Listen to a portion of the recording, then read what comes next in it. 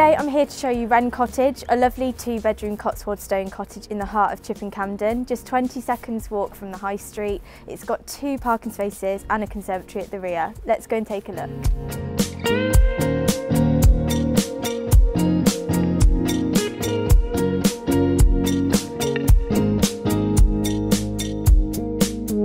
If